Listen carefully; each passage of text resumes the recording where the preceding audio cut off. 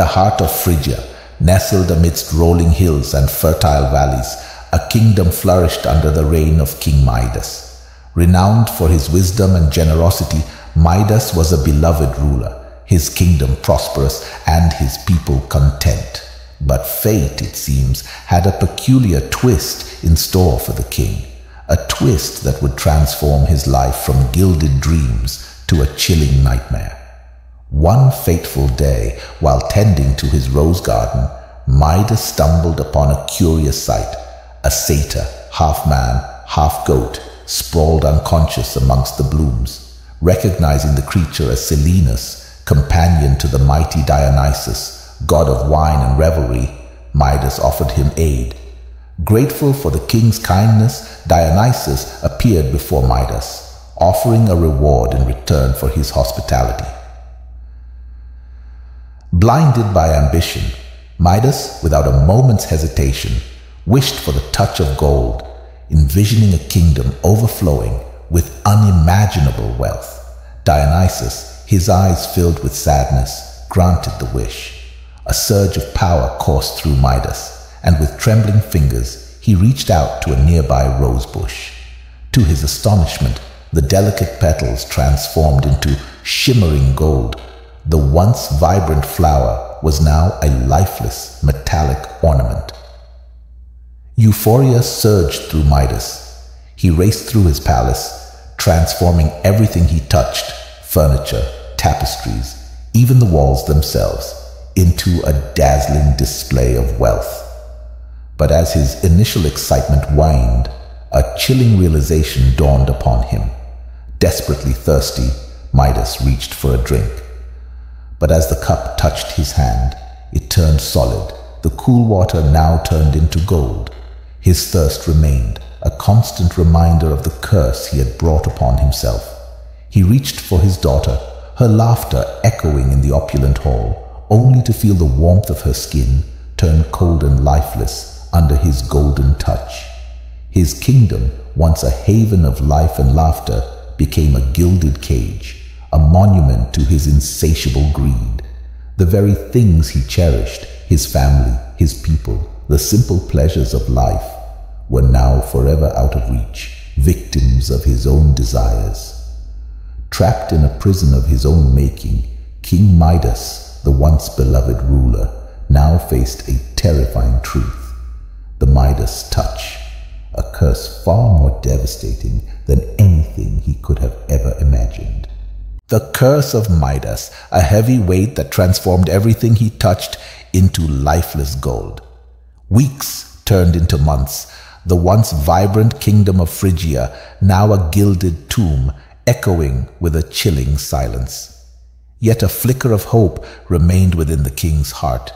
Driven by love and regret, Midas embarked on a perilous journey, seeking redemption at the source of his misfortune.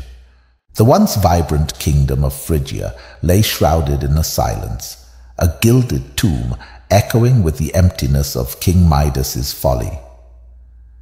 Consumed by despair, Midas wandered his opulent prison, the weight of his curse a crushing burden. The touch that once brought him joy now turned everything it grazed into cold, lifeless gold. Driven by a desperate hope, Midas remembered a legend whispered on the wind, a tale of Dionysus, the god of wine and revelry, who had granted his ill-fated wish. With a sliver of hope flickering within him, Midas embarked on a perilous journey to Mount Olympus, the abode of the gods. Days turned into weeks as Midas braved treacherous mountain paths, his heart heavy with regret, and his touch a constant reminder of his devastating mistake. Finally, he reached the summit and knelt before the great Dionysus. Tears streamed down Midas's face as he confessed his deepest regret, his voice echoing through the halls of Olympus. He pleaded for forgiveness, not for the restoration of his wealth, but for the chance to undo the curse that had turned his life into a gilded cage. Dionysus, his eyes filled with a flicker of amusement and then a touch of understanding, spoke. Your greed has indeed brought you hardship, King Midas, he boomed, but redemption is possible. Deep within the heart of Anatolia flows the legendary river Pactolus. Its waters possess the power to cleanse even the most potent magic. Hope rekindled in Midas's heart. He followed Dionysus's guidance, the promise of redemption propelling him forward.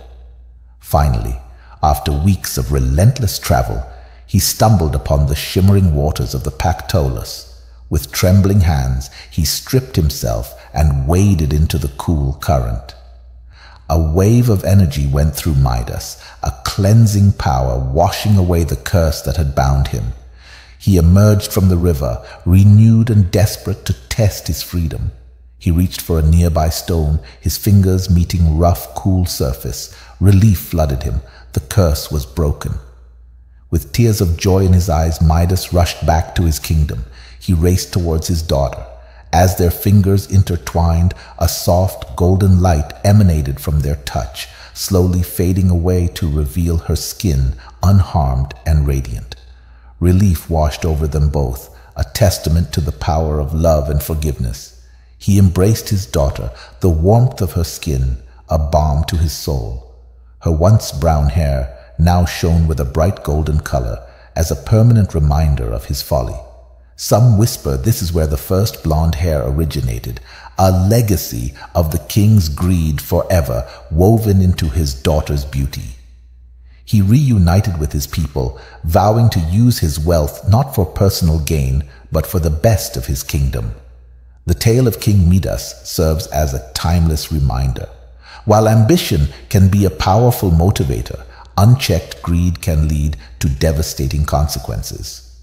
True wealth lies not in the accumulation of material possessions, but in the love, compassion, and connection we share with others. Though forever marked by his folly, King Midas embarked on a new chapter, his heart filled with humility and a newfound appreciation for the simple joys of life. His story, a cautionary tale woven in gold, continues to resonate through the ages, a testament to the enduring power of redemption and the human spirit's ability to learn and grow from its mistakes.